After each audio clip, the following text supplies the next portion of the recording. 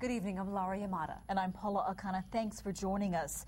The three leading candidates in the special election for the urban Honolulu seat in Congress faced off in a live debate tonight. And the stakes are high as mail in ballots arrived in voters' homes over the weekend.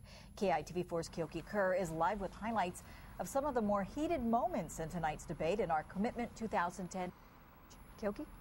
Well, Paula, a poll released yesterday shows that Republican Charles Djou is eight points ahead of Democrat Ed Case, with Colleen Hanabusa, another Democrat, trailing in third place. And in tonight's debate, the most heated exchanges came between those two frontrunners.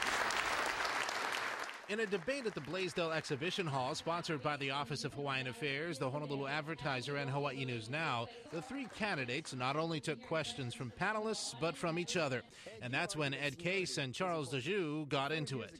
Ed, your personal ambition has defined your career. Indeed, at one point, you ran for four different offices in a span of six years. Djou asked Case what assurances he could give to voters that Case has the voters' long term interests at heart instead of his personal ambition. And you only spent two years on the state legislature, as I recall. And then from there, you ran uh, for the city council, and you've served now on the city council for eight years, and you're termed out. Uh, so you need to go somewhere at this point, and you have now run uh, for the U.S. Congress. Uh, so which one of us uh, is uh, ambitious? Djou responded, leading to this exchange. I ran for this office, whether or not it was an open seat or not, and whether or not whomever would run in this race. That's not about ambition, it's about principles. Charles, I'll respond when you actually answer the question on whether you would have voted against financial reform. I answer the question, Ed. I'll answer the question when you answer whether or not your ambition is bigger than your principles.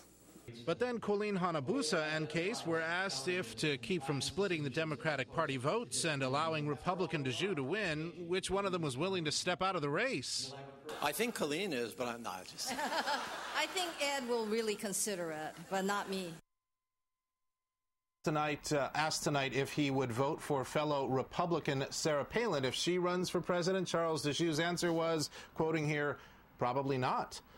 The Office of Hawaiian Affairs paid three television stations $19,000 to run the hour and a half debate live. That counts only airtime and not television production costs, facilities rentals, and other expenses. Now, KITV4 holds our own congressional debate with these same three frontrunners Friday night, starting at 7 p.m. right here with an entirely new set of questions.